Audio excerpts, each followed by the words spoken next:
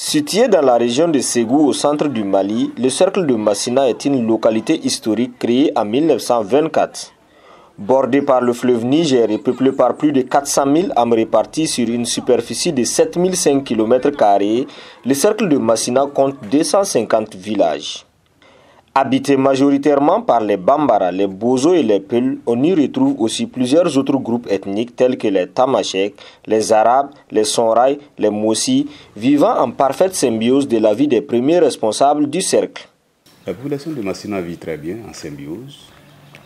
Elle est ensemble dans toutes ses composantes. Elle est composée de 250 villages.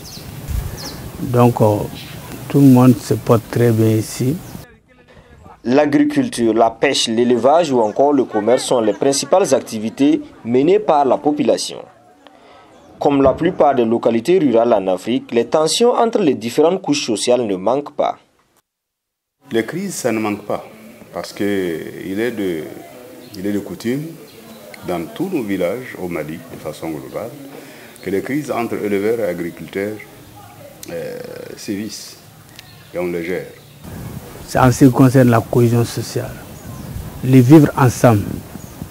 Donc les problèmes dominiales, on traite les problèmes dominiales, les problèmes de terre, les éleveurs entre les paysans, les paysans entre les éleveurs. Et les éleveurs eux-mêmes quand moi je suis arrivé ici, j'ai essayé de faire la genèse de la situation, j'ai compris de quoi il s'agit, comme toutes les autres crises que j'ai pu gérer ici par le dialogue et par le savoir-faire, effectivement. Alors j'ai mis en place les mécanismes endogènes qui sont connus dans nos traditions habituellement, qui n'ont jamais pu intervenir dans ce domaine-là, pour qu'avec eux, nous puissions trouver la solution. Certes, des conflits éclatent souvent, mais les premiers responsables, à l'aide des mécanismes endogènes de gestion des conflits, parviennent à les régler et à ramener la paix dans cette localité dont la résiliente population est interdépendante. Ce que les commerçants apportent est consommé par toutes les parties. Ce que les éleveurs apportent aussi constitue un tremplin pour tout ça.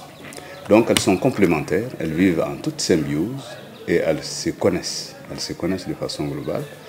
Une population aussi qui, qui, malgré tout ce qui se passe, hein, ça et là, elle continue à vivre ensemble, dans ces mêmes conditions et dans cette même douleur qui déchire tous les Maliens. Notre population à Massina parvient à, à accepter, à montrer leur résilience, leur capacité de supporter les douleurs et continuer encore à vivre ensemble. Malgré les défis sécuritaires auxquels est confronté le cercle de Massina, les autorités administratives et coutumières sont pleinement et quotidiennement engagées à prévenir et à résoudre les conflits sociaux et à garantir ainsi la cohésion sociale entre les citoyens de Massina.